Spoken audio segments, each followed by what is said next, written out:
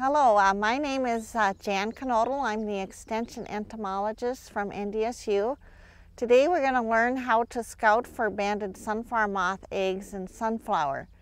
This helps to determine whether the field will need to be treated with insecticide if it's above the economic injury level. Banded sunflower moth is a major insect pest in sunflower in North Dakota. It feeds on the seeds, reducing the total weight of the seed, consuming the entire kernel. This will reduce the yield of the sunflower field, so it's economically important. There's two crop stages you need to, to know about to get out and scout for banded sunflower moth eggs, and that's the R2 stage, which is a bud and then the nearest leaf behind that bud is less than three quarters of an inch uh, to that bud. For the um, crop staging, when you see the leaves coming right off the head, you use the leaf that is on the stem for determining what crop stage. The R3 stage, that leaf is three quarters of an inch or more from the bud. And the buds can range in size, small, you know, medium or large. So you have to use that leaf as an indicator of the crop stage. So this is when you'd want to get out and scout for banded sunflower moth eggs. To look for banded sunflower moth eggs, we need to look on the outer bracts of the bud. The eggs are very small. They're laid singly or in clusters. The eggs will hatch in five to eight days into the larvae that causes the injury by feeding on the florets and the seeds internally. So it's easiest if you use a head-mounted magnifier to see the eggs. This magnifies the image three to four times. So place the magnifier on your head and then you can easily see the eggs with these.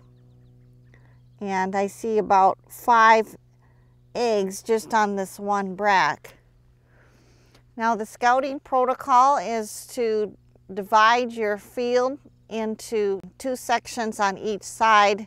Go to the middle of that section, go 20 feet into the field at least, and then sample five buds in a row and on each bud, count the number of eggs on six bracts randomly.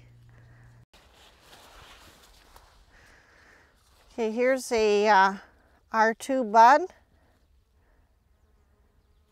with the nearest leaf being less than three quarters of an inch from the bud. So we'll sample this one for banded sunflower moth eggs counting the eggs on six of the outer bracts. As we're counting, we'll um, need to record the number of eggs on each bract. So there's a spreadsheet you can download from the Extension Entomology website and it has a little section where you can record the number of eggs on each bract. So write down the number of um, eggs you find on each bract uh, for each of the five heads and then calculate a average for that sampling site. And you do that for um, each of the eight sites, so you have two sampling sites on each side of this field, and then determine what your overall average is for the whole field. And then we um, have a formula that we use for calculating the economic injury level, which takes into account the value of the crop, the market value, price per pound, and also the plant population, number of plants per acre, and also the insecticide costs. The economic injury level formula is the treatment cost divided by the market value per pound times the plant population per acre times a factor 00078. And that gives you the economic injury level. You compare your average to that calculated formula value. If your average is above the calculated formula, you need to treat. We're in an oil sunflower field, and we calculated the economic threshold to be about 3.2 eggs per six bracts, and we used a um, insecticide cost of $8 an acre and a market value of 16 cents per pound and a plant population of 20,000 plants per acre. So let's assume that our um, scouting, well we are out scouting for the eggs, we were above the threshold, calculated threshold of three um, eggs per six bract. So then this allows us a window of opportunity to get that insecticide spray on. The optimal timing for banded sunflower moth is not right after you find those eggs. It's after the eggs hatch and the larvae are very young and they're feeding on the florets of the head.